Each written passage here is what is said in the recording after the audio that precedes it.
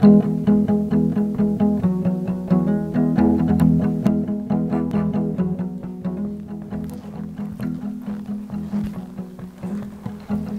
welcome to YC Weekly. I'm your MC, Elliot Cafton.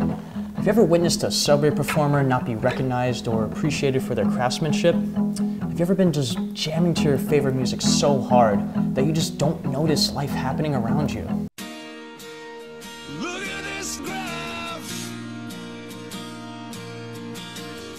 I seriously got cut off for Nickelback.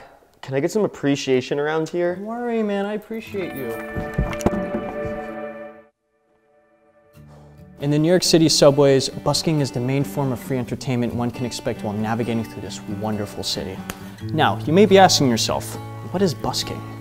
Busking is the act of performing music for donations in public, generally on the subway or streets. Many artists use this as a way of gaining exposure and as a way of practicing playing in front of people, which can lead to many great opportunities.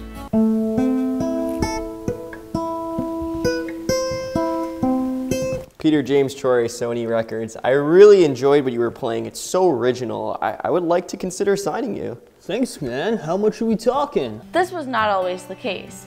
In 1936, the act of busking was made illegal by former Mayor LaGuardia. This ban was not lifted until 1970. Nowadays, however, many buskers still have stories of complications with the police. It is a common misconception that busking is still illegal, it is perfectly legal to busk on the platform or the mezzanine. Not only do they have run-ins with the authorities, Hey! Hey! You can't do that! Oh! The commuters often tend to neglect the musicians, which can be extremely discouraging to aspiring artists.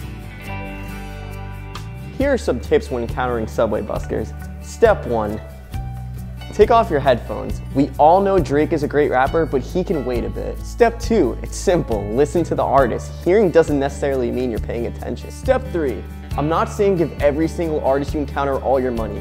A dollar here or there can be nice if you can afford to spare it. Simply showing applause or some form of positive recognition is enough and can really make their day. So, the next time you're waiting for your train and you see someone pouring their heart and soul into a performance, try showing them a little love. It can really go a long way. Come here, man. Thank you for watching this week's YC Weekly. Be sure to like, share, comment, subscribe, and to follow us on Facebook and Instagram.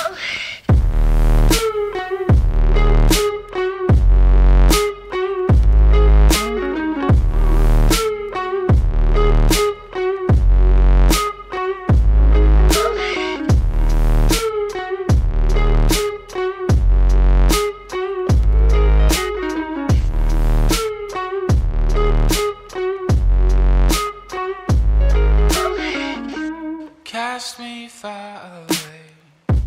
Play these little